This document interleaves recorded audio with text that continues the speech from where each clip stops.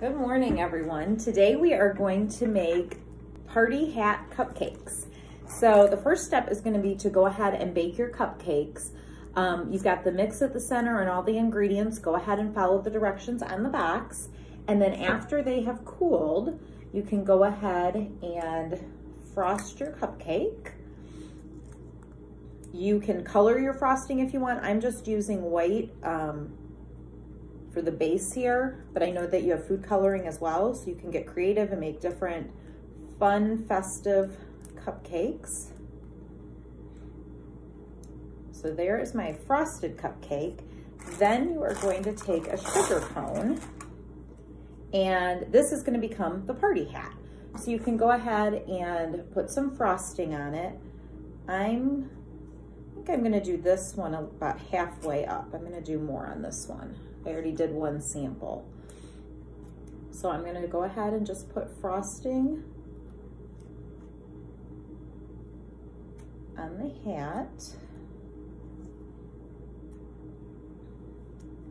And I think I might make another stripe of frosting up here.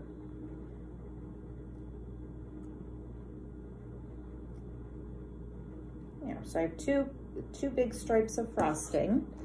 Then I have my bowl full of sprinkles. So I'm gonna go ahead and just sprinkle those colorful sprinkles right over the frosting that I had put on there and that's gonna make our festive hat. I think I'm gonna try, see if we can get some sprinkles right at the top. Dip it in there. There we go. And then just go ahead and put it right on top. And there is your festive party hat cupcake.